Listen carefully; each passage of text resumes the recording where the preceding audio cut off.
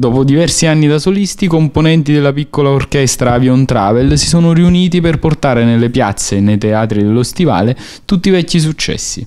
La vittoria a Sanremo e la recente scomparsa di uno dei componenti della storica band casertana, Fausto Mesolella, non hanno intaccato le sonorità ricercate e spesso teatrali della band capitanata da Peppe Servillo, che ai nostri microfoni ha manifestato tutto il suo entusiasmo di essere tornato su un'isola affascinante come l'Elba, che però dice di non conoscere come vorrebbe. Siamo venuti con gli Avion Travel due volte negli anni 90 e e poi dopo, dopo, di allora è la prima volta sì che ritorniamo.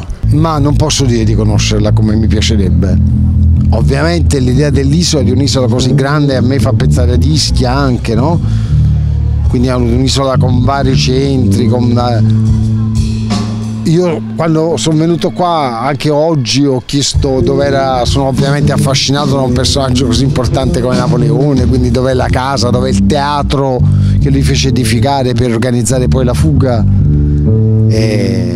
durante questa festa che si teneva nel teatro inaugurato, quindi personaggio singolare che evidentemente ha inciso molto, però mi piacerebbe anche conoscere tanti altri aspetti perché sicuramente l'Elba non è solo questo. Il lavoro, anche le, le, le attività che si sono svolte in quest'isola, sia sia di scavo minerarie, è vero, e di agricoltura, insomma tutte cose che io non conosco come mi piacerebbe per poter dire davvero di conoscere l'Elba.